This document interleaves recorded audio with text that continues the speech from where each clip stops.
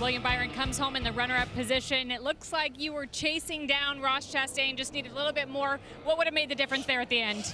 Yeah, I mean, just clean air. You know, I feel like he he got the restart he needed to, and I was in the second row just trying to clear those guys. And once I got clear of them, my balance is okay. Just a little bit tight, but just you know, kind of inching up on them. I, I needed probably, you know, for it to be a longer run, being in second. But uh, damn it, I wanted that one really bad. It just sucks, man. You're so close, and you know, going to Talladega, you know, you know what that is. So just uh, sucks, but you know, proud of the effort. Brought an awesome car.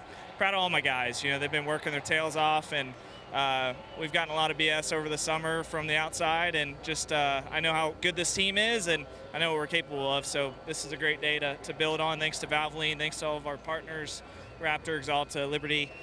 Uh, look forward to Talladega. You know, we're usually good there, and uh, we'll just see how that goes. Did you talk about what this team can do? You were the highest points earner today, won a stage, finished runner-up. Was this a statement to the field?